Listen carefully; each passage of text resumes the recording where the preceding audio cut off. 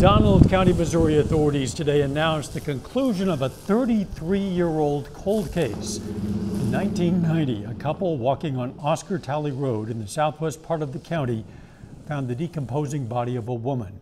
Investigators began referring to the woman as Grace Doe until 2021 when they used advanced DNA testing and discovered the body was that of Shauna Garber, who had been living in northeast Oklahoma. Well, today they announced they've identified a now deceased suspect in Garber's murder, Talfie Reeves, who was well known to local law enforcement. It feels good. It felt great when we identified her and able to lay her to rest with the family. Um, it feels great to you know have a suspect and know who did it.